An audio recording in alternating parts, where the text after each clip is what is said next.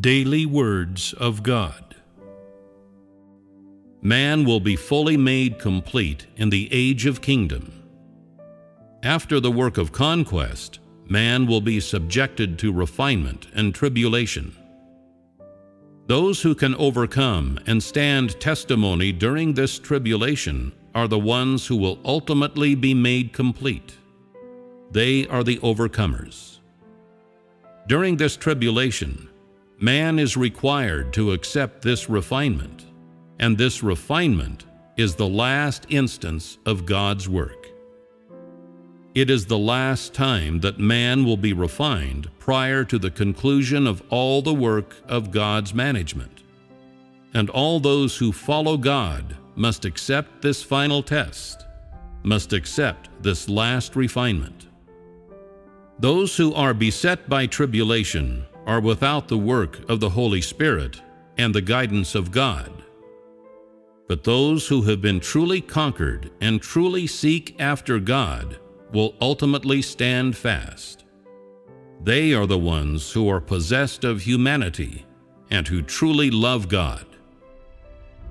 No matter what God does, these victorious ones will not be bereft of the visions and will still put the truth into practice without failing in their testimony. They are the ones who will finally emerge from the Great Tribulation. Even though those who fish in troubled waters can still freeload today, no one is able to escape the final tribulation, and no one can escape the final test. For those who overcome, such tribulation is the tremendous refinement. But for those who fish in troubled waters, it is the work of complete elimination. No matter how they are tried, the allegiance of those who have God in their heart remains unchanged. But for those who do not have God in their heart, once the work of God is not advantageous to their flesh, they change their view of God and even depart from God. Such are those who will not stand fast in the end, who only seek God's blessings and have no desire to expend themselves for God and dedicate themselves to Him.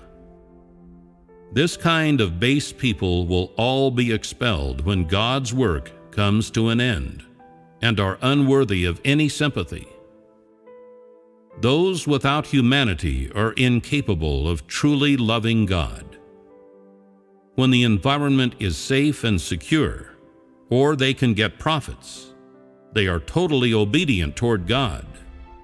But once that which they desire is compromised or finally refuted, they immediately revolt. Even in the space of just one night, they may go from a smiling, kind-hearted person to an ugly-looking and ferocious killer, suddenly treating their benefactor of yesterday as their mortal enemy, without rhyme or reason. If these demons are not cast out, demons that would kill in the blink of an eye, will they not become the source of further suffering? The work of saving man is not achieved following the completion of the work of conquest although the work of conquest has come to an end. The work of purifying man has not. Such work will only be finished once man has been wholly purified, once those who truly submit to God have been made complete, and once those disguisers who are without God in their heart have been purged. Those who do not satisfy God in the final stage of His work will be completely eliminated, and those who are eliminated are of the devil. As they are incapable of satisfying God, they are rebellious against God. And even though these people follow God today, this does not prove that they are those who will finally remain. In the words that those who follow God to the end will receive salvation. The meaning of follow is to stand firm in the midst of tribulation. Today, many believe that following God is easy. But when God's work is about to end, you will know the true meaning of follow. Just because you are still able to follow God today after being conquered, this does not prove that you are one of those who will be made perfect. Those who are unable to endure the trials, who are incapable of being victorious amid tribulation, will ultimately be incapable of standing fast, and so will be unable to follow God to the very end. Those who truly follow God are able to withstand the test of their work, whereas those who do not truly follow God are incapable of withstanding any of God's trials. Sooner or later they will be expelled, while the overcomers will remain in the kingdom. Whether or not man truly seeks God is determined by the test of his work, that is, by God's trials, and has nothing to do with the decision by man himself. God does not reject any person at whim. All that he does is so that man may be utterly convinced. He does not do anything that is invisible to man, or any work that cannot convince man. Whether man's belief is true or not is proved by the facts and cannot be decided by man. That wheat cannot be made into tares, and tares cannot be made into wheat, is without doubt. All those who truly love God will ultimately remain in the kingdom, and God will not mistreat anyone who truly loves Him. Based on their different functions and testimonies, the overcomers within the kingdom will serve as priests or followers and all those who are victorious amid tribulation will become the body of priests within the kingdom. The body of priests will be formed when the work of the gospel throughout the universe has come to an end.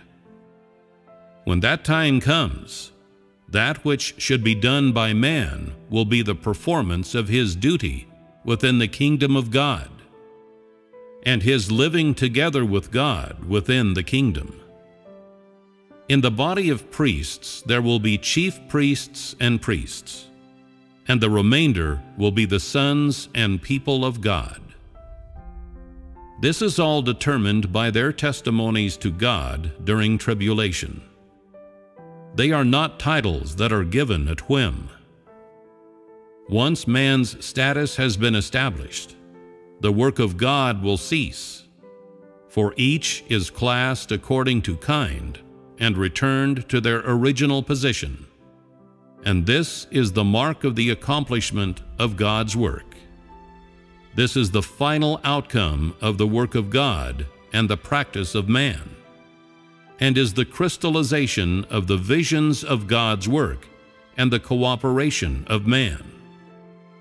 In the end, man will find repose in the kingdom of God, and God, too, will return to his dwelling place to rest. This is the final outcome of 6,000 years of cooperation between God and man.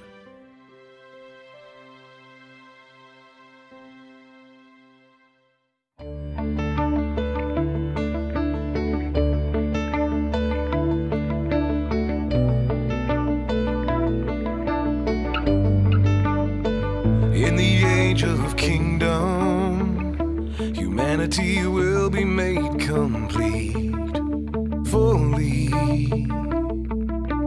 complete in the kingdom age. When the work of conquest is done, they will be put through refinement and tribulation. When the conquest is done, those who stand testimony through this tribulation.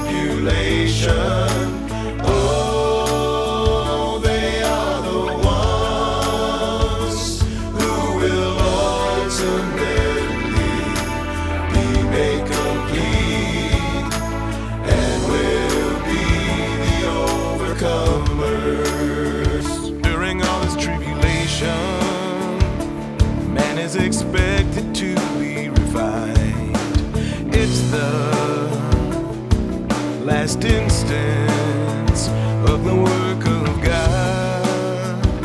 The last time that man's refined, before God's management work is closed, all who fall.